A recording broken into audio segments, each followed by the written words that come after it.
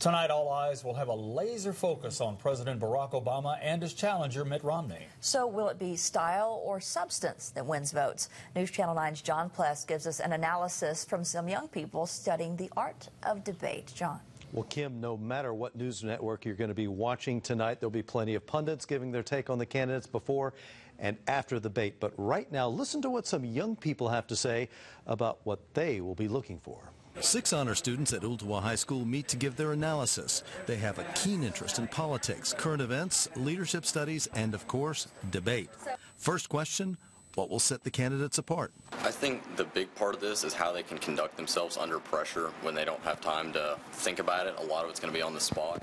What will make a candidate stand out is catering to the part, like to the population that doesn't, wouldn't normally vote for them. So what will they pay more attention to? What they say or how they say it. I'm going to be looking at the body language a lot.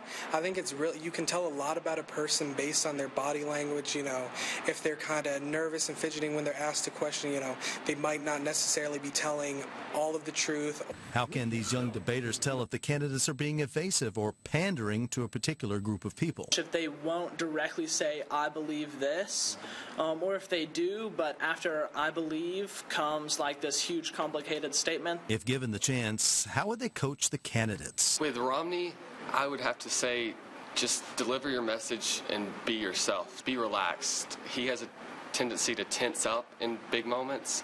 With Obama, be look presidential. He has the image, he's the president. It's easy for him but still he has to convey his message. Could tonight seal the deal or blow it for either candidate? I think it could clear a lot of minds as to who the frontrunner may become, but uh, we're still five weeks out from voting day, and I do believe that there could be a lot of movement in the polls between now and then.